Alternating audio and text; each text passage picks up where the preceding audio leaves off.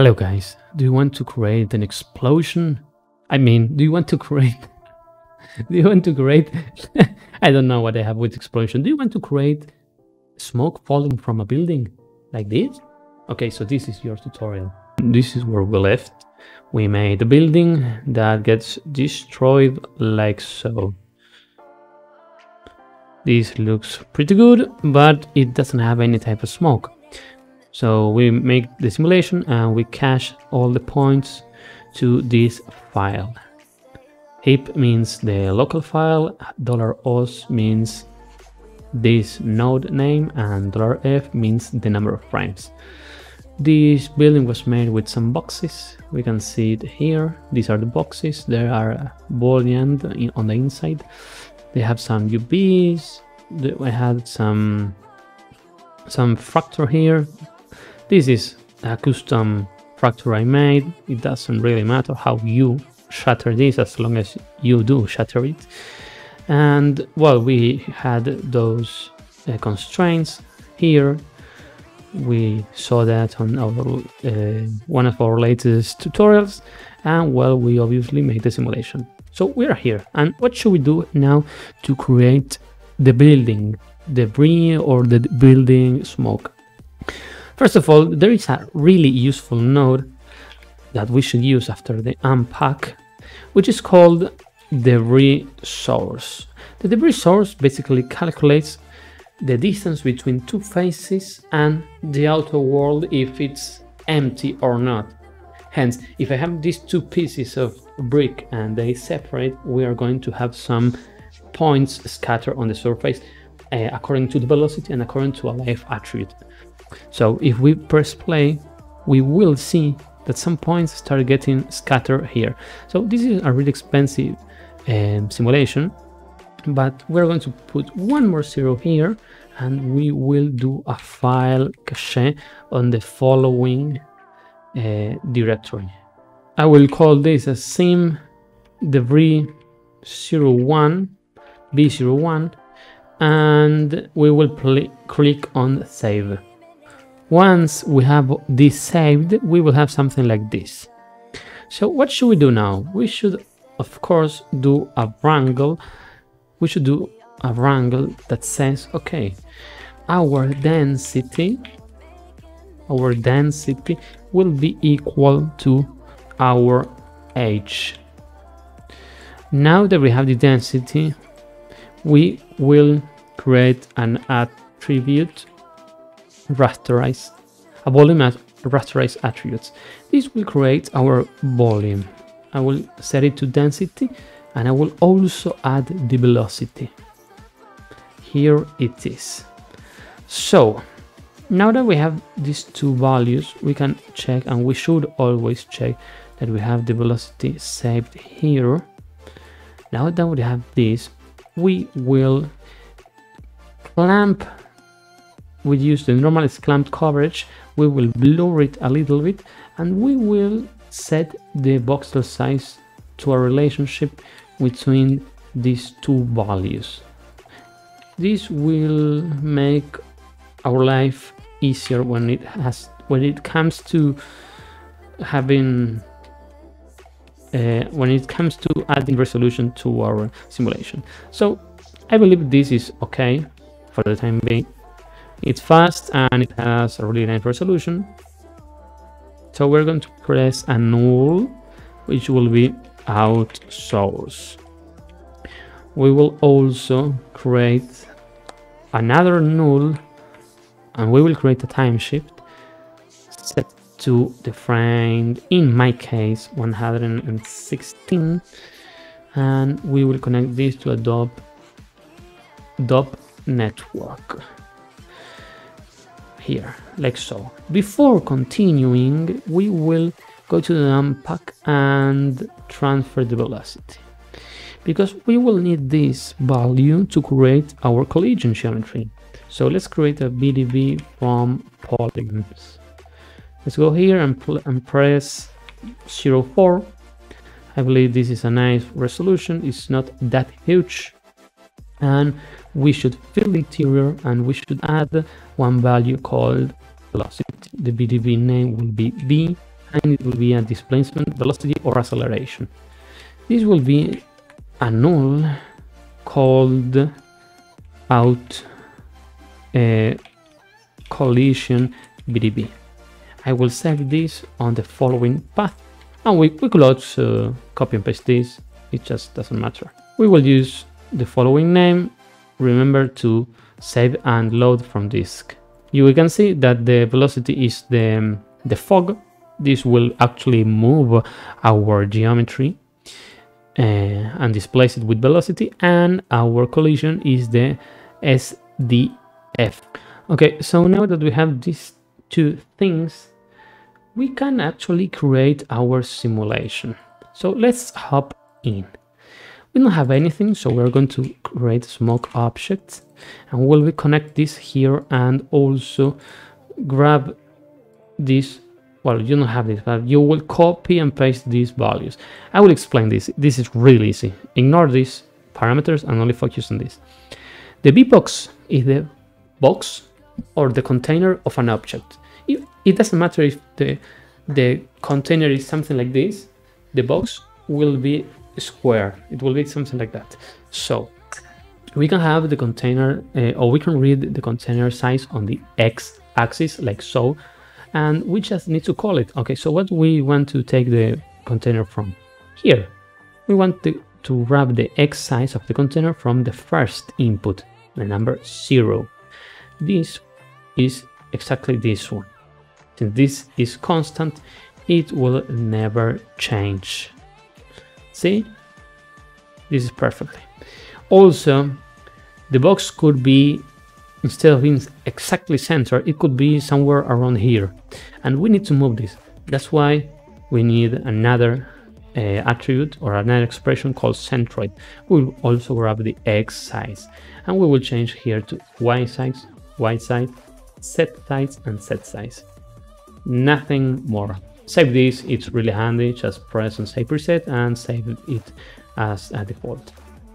So now that we have this, we will create a smoke solver and we will plug this in here. We will go to projection, to and to advection and use the BFECC. These two technologies or these two algorithms create more realistic uh, swirl on the smoke. Let's create a dynamic, a respectfully dynamic connected to the pre-solve Let's go to max bounds and untick this option. This will actually shrink on its own the simulation. Let's say that the delay will be one frame from the beginning and let's create a small uh, a volume source. The volume source will be plugged here and we will actually grab the the out source which is the smoke. Let's go to smoke source our smoke and we have everything here. It doesn't matter if we actually do something or not with the temperature since we don't have it. Okay, so if we simulate this, we will see that everything simulates correctly except that it, the box is actually clipping. So we should always check this on the source, on the main source. Now it works perfectly. It doesn't glide to the ground, it doesn't glide to the building because we still haven't set it up. So let's grab a merge Let's grab a ground. Let's let's let's mix them both then like this. The ground always needs to be on the second input, on the first input.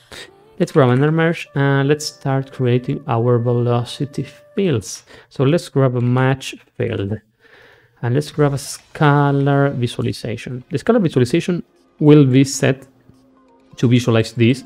How? With plane. And we will use the field or we'll, we'll create a field based on our velocity. This field will be called velocity mask and it will be set to vel. See, now we have this grid, but we still cannot see it. So let's make an analysis. We want to make an analysis, a calculus from this. I will use the vel mask as our destination and will be use the velocity as our uh, field to calculate and we will actually calculate the length or the magnitude. You can hop uh, in here and press 7. In, the, in my case, you might need another value to see this better. If we hop in here we can untick density and watch how this actually behaves. Let's see again. These are the velocities. The red ones are the largest velocities. So let's ignore the ground and uh, let's untick the plane or the show geometry and let's see the density. Okay, so now that we have this, we can actually make a control field out of it and grab our turbulence. Our turbulence will be set to 0.2 and our control settings will be set to vel mask. We will remap this and press 7 since we already know this value from here. We'll also create a dissipate and we will put it on the input that comes before the turbulence. We'll set this to 0.1, 0.1 and nothing more. We will create one more node called gas to gas vortex confinement and we will plug it in here. This will also use the velocity velocity mask field. We will remap this to uh, 7 we will place this confinement scale to 2 and actually this will be set to 10 and this to 1 this will create a really nice disturbance. It won't be really hard on the simulation and it will look good. Let's see how this looks. Let's go to seven, frame 72 now we are talking about a really nice result. Let's go one frame before use a DOP import fields to see how this looks. Let's put it here and use smoke to grab the smoke. Let's import our smoke and let's see how this looks. So we have a couple of problems. The resolution is really low. We have some cuts here basically because the, it, it is really low resolution but uh, it starts to it is starting to look okay. So let's grab a visualize volume and let's grab density and density. We can also merge it with our main simulation from here. And we can see that this actually makes a little bit of sense. So let's make our final tweak before increasing the resolution which will be copying this to cre create the collision. This will be set to uh, collision we will grab the collision VDB we want to enlarge the field but in this case it won't make any type of difference. And everything looks fine from here.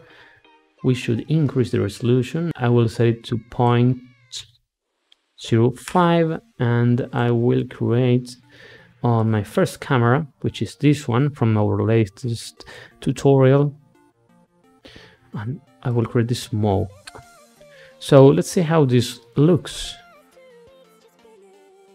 I will go to frame 120. Okay, so this is how it looks after 120 frames. There are some things that could be fixed. Obviously, this is only a fast setup, but with time you can create great things. The thing that I want to change just to have a little more control is the following. Let's go inside and create a null. I will delete this one. Okay, so if we create a null and we go to our edit parameters interfaces and create um, float or integer whatever you want you can say this is going to be called mode this will be uh, like a global variable and we, it is going to be set on one where we're going to copy and paste this where here let's multiply this here with the relative reference from this field and also here one thing that I changed is uh, these ramps. I just moved them a little bit further so when the velocities strike we do not have so much um, effect on this part of the velocity. This will be the lowest velocity and this will be the highest velocity. It's just a little way to have a little bit more control on the simulation. So let's actually animate this and let's animate this like this let's create anywhere it doesn't matter uh, with alt click um, a keyframe and let's set it to here on zero with shift and with shift and left click, we could drag this anywhere with our middle class. With our with shift and left click and then middle mouse button, we can drag this anywhere. I'm going to drag it around 120 hours. Why? Because I really don't want the simulation to have so much turbulence after it already down. It shouldn't have it, in fact. So let's see how this look.